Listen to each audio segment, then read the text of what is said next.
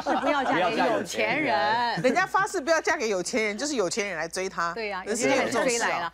安以轩，我都一直认为说她哦会嫁给一个可能是呃。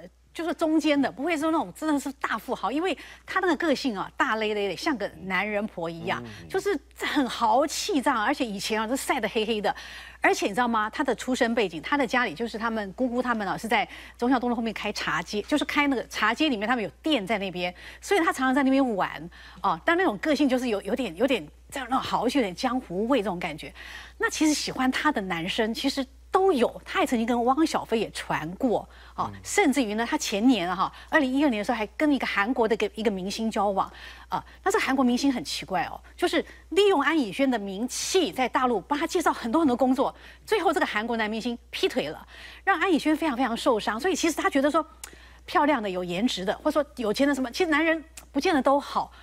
但是你知道安以轩就是那个电力无法挡，你知道他电力电到什么程度？有一年我去探班啊，在大陆拍戏，那我们就访啊访啊，什么任贤齐都访完之后，结果我们都回到饭店，在楼下的时候，连那个大大那个管理的那个北北。北北啊哈，都说哎那个那个你们啊哈，那个安以轩已经回来了，他在里面休息，他现在没事，你们可以去采访他。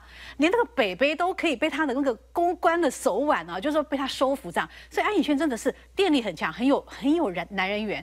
那这一次呢，觉得说，因为他才刚受伤，我刚刚讲说被韩国的明星这样伤了之后，其实在这段期间出现了一个人，就是我们今天要讲这个陈荣炼。嗯，这陈荣炼哈四十岁，比安以轩三十六岁大了四岁。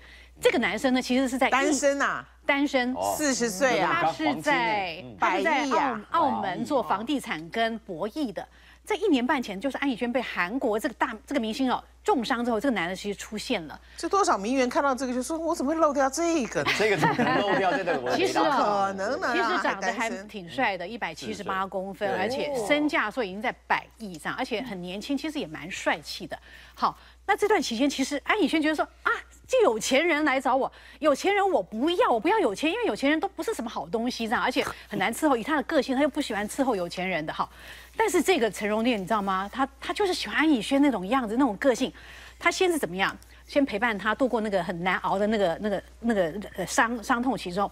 他知道说安以轩啊，那时候就说呃在纽约，他就坐私人飞机跑到纽约去，你知道？那其实啊哈，就说。他那时候是陈荣炼是第一次去纽约，其实人生地不熟，他就可以找到安以轩在哪里。所以安以轩有点吓到，他就说：“哎，你怎么突然跑来？”他说：“没有，我就想看看你啊。”姐，这怎么会难呢？人世间不是有秘书吗？是，对，应该有十个秘书吧。好，除了纽约之外，你知道后来安以轩也是没有理他。后来安以轩跑到巴黎去看什么什么时装周啊什么。哎，结果陈荣炼又飞到巴黎来了，而且是在一个米其林餐厅，就就觉得就打电话给他说，我想要请你吃饭。安以轩又吓了一跳，哇，那什么这？那甚至于那时候安以轩的干弟弟叫做安钧灿，他觉得说，哎，那那个陈先生，你追我姐姐不需要追成这个样子，因为他不希望男人这样像黏黏着帮我黏住，他不是这样的一个女生，你不要这样追。可他说，我就很想看到他。好，最近追了两国，对不对？后来你知道吗？他真的觉得，哎，这个百亿 CEO 其实应该很忙才对，他竟然你知道，安以轩后来进了剧组，在横店，横店是在浙江。的一个一个小城镇，这个陈荣烈在百忙当中，你知道吗？他先坐飞机飞到杭州，再坐两小时的车程，再到横店，因为横店是一个这个就很偏僻地方，而且你知道安以轩拍戏，那早上拍戏是可以拍到半夜的，他就躲在车上哦，就可以不下来，也不惊动他，也不干扰他拍戏，让他中断，就在车上一直等等等等，等到安以轩收工之后，他就说啊，你在这边已经等了一整天了，就有一点点心动。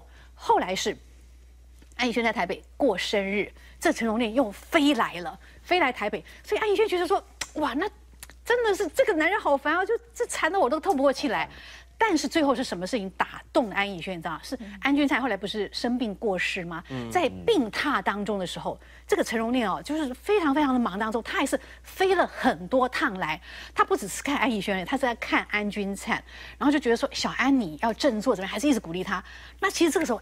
安以轩是深受感动的，甚至于小安要就是安君山要走的时候，有拉着陈荣炼的手说：“那其实就说那个我真的很蛮放心，如果我姐姐交给你，我蛮放心的。”是这样子感动的安以轩，所以这次就说他们来台湾约会被拍到，那其实两个人那个互动已经非常非常亲密了，大家认为说应该是好事将近。那这个这么样有钱的人。